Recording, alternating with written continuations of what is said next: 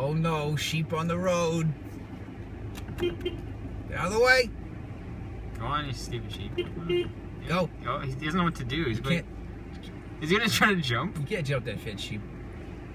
No. Go into the passing place. Go sheep. Oh.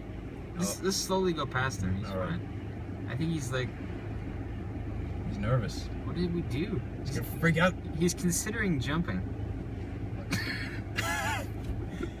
Can't do it, sheep. No. I think we've glitched him. There we go. there, there. See, this is. No, that's even higher, you idiot. Just go off the road for a second. I'm gonna go into the passing place. Wait, now he's moving. He's moving. That? yeah, Okay. okay. Is that good? That might be good. See, he'll leap across the ditch. He might hit the car because he's got horns. Yeah, that's fine. Just, just need to get off to the side, just a little Okay, bit more. just slowly go. f- eh, He'll figure it out. Yeah. I don't want to clip a sheep.